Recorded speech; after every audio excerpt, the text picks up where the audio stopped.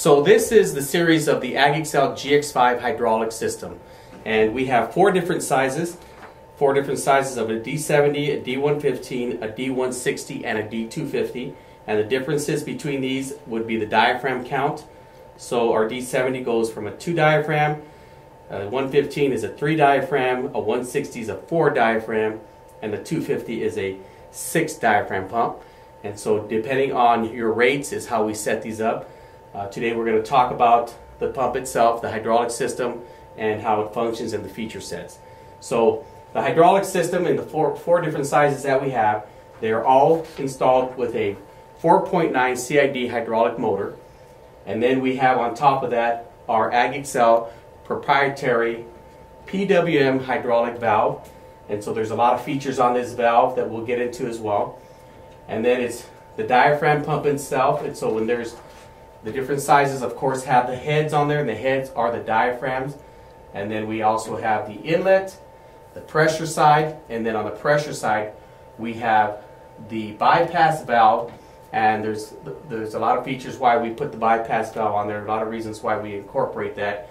And then we also have our air, air valve as well, so when there's pressure lock or vapor lock in here, we can also release the pressure. It's very rare that these hydraulic pumps create any kind of vapor lock in the systems, uh, but we've set it there just in case it does do some kind of vapor lock or if you're priming it. But these are very good primers, and so the valve we put there, but it's rarely ever used, if at all.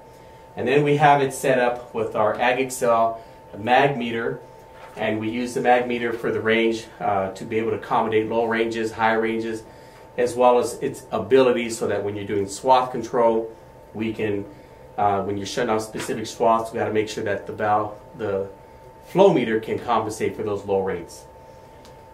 Our AgXcel PWM hydraulic valve is designed to be utilized with both closed center systems and open center systems.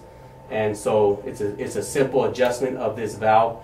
The valve allows us to literally shut the hydraulic fluid off so that if you're using a closed center system like most tractors are today. Or, and there's a few setups out there, case and so forth, where they have an open center system, and so we have to open up the valve, allow the fluid to flow through and run. Um, we got pressure coming in, pressure going back, and then we have a load sense port, load sense port uh, on there. So if you're wanting to set this up to be able to use it with your Power Beyond, uh, we definitely can set this up to, to do that as well. And then it also has our PWM solenoid, and the solenoid is basically what allows us to manage the flow.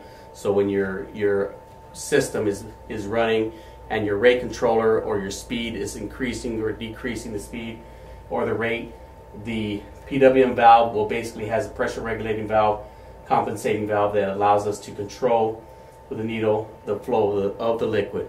And it's very, very responsive and very quick. So when you're making changes on your rate, when you're doing, for example, prescription-based application like in strip till conditions, uh, your current con controller, when it makes a change on the valve, it's very, very fast, very effective, and very smooth. And its ability to integrate into different consoles is a plus as well. So whether you have an Ag Leader, a GreenStar, a Trimble, a Raven, Outback, whatever you may have, as long as it supports pulse width modulation, we can tap into that console and you can control this entire hydraulic system through your current existing um, controller. These positive displacement pumps, diaphragm pumps, are very, very low maintenance. Um, the nice thing about them is that they're very, very simple to maintain. If a diaphragm did go out, the head is very easy to take off, very easy to uh, replace the diaphragms and up and running again the oil chamber as well. If there's ever a problem, maybe the diaphragm is leaking, it's very easy to, to notice your the drop of flow. Uh, there's an oil gauge on the on the side of the pump that allows you if you see any kind of milkiness in it, you know the diaphragms are out. But the guys are going with these systems two three years without even having to change them. But we highly recommend changing the diaphragms every season just to ensure uh, good performance. And we also will replace the diaphragms uh, for you at no charge. All you have to do is pay for the parts, and that's part of a service that we give to our customers here at AgXcel. Now, the bypass valve, the reason we put that on the system is because these pumps work extremely well uh, at 5 gallons a minute. Uh, the D70 can do 4 gallons a minute uh, well. But any lower than that, if you're trying to get a lower rate, what happens is that the pump will kind of try to struggle a little bit to get the lower rates. So we put a bypass valve on here, bypass some of the liquid in the system so that it allows it to go a lower rate. And if you're really trying to get down to two gallons an acre on a like a D70, we'll send this back all the way to the tank, bypass more liquid so that we can go at a lower rate.